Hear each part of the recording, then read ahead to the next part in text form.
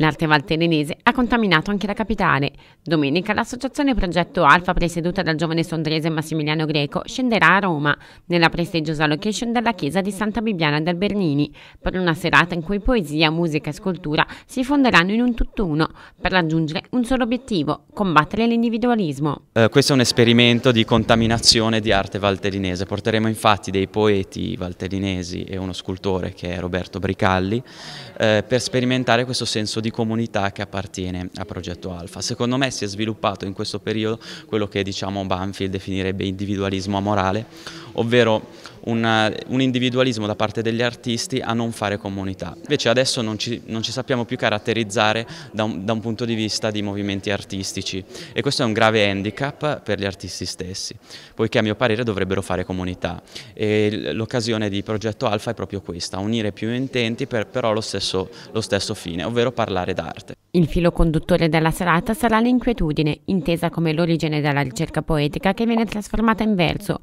un filo rouge che vedrà protagonisti nel reading poetico, oltre a Massimiliano Greco, Giusy Gasparini, Teresa Cattaneo e Reniere Nera Ramirez, insieme allo scultore Roberto Bricalli, che esporrà le sue opere in marmo e granito, il tutto allietato da intervalli musicali.